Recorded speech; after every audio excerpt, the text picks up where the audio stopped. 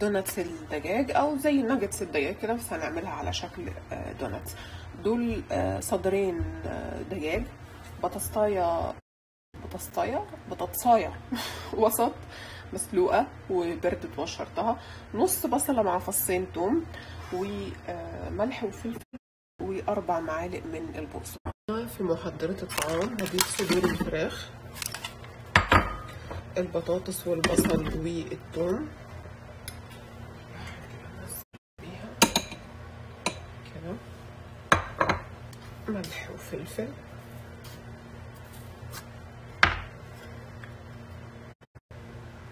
وأربع معالق بقسماط. اتنين تلاتة أربعة. وكل ده هضربه مع بعض.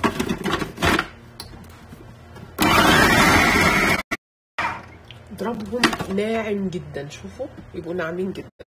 هناخد كيس.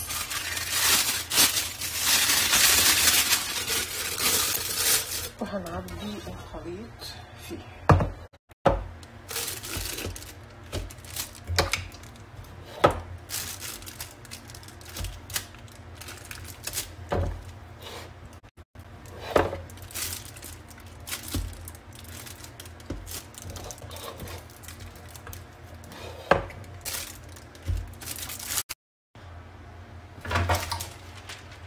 هحط صينية عليها آه، ورقة خبز وقطعنا كده فتحة في الكيس وهنعمله هنشكله عارفين زي ال donuts أو زي ال ring طبعا الوصفة أنا شفتها على اليوتيوب وعجبتني جدا زي ما أنتم شايفين كده.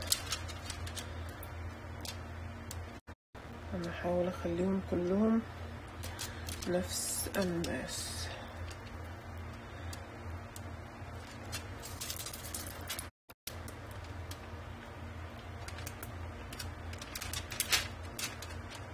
ولو اني فاشلة في موضوع إن أنا أطلع الشيء كله نفس المقاس ده بصراحة.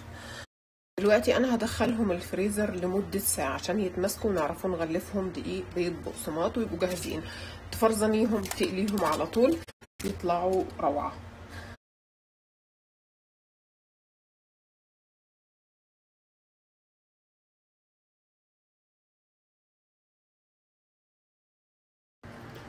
تمام شوفوا.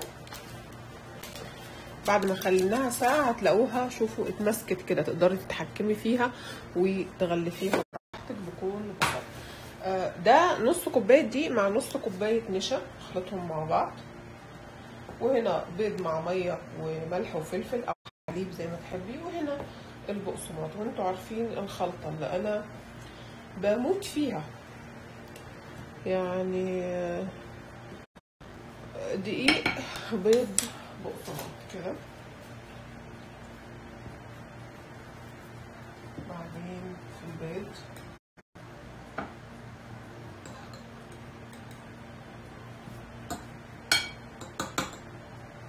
بعدين في البقسماط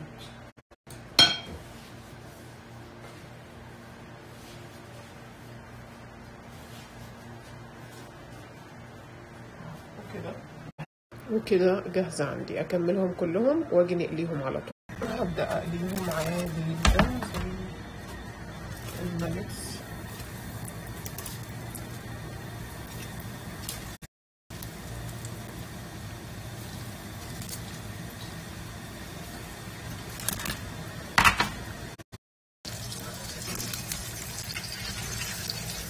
تعرفي ان هم استووا تلاقيهم كده حجمهم اتنفخ شوية.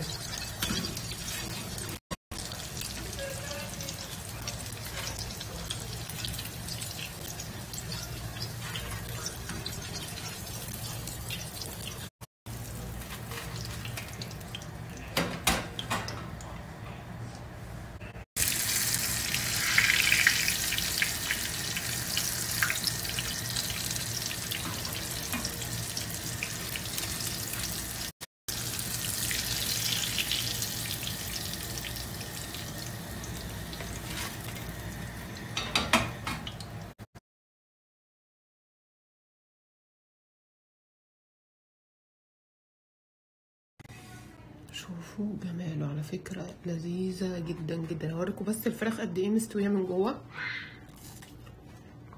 شوفوا ما شاء الله مستوية وهشة وطعمها حقيقي غني ولذيذ بشكل مش معقول. أتمنى كلكم تجربوها يعني. شفتوا قد إيه وصفة سهلة جدا جدا جدا.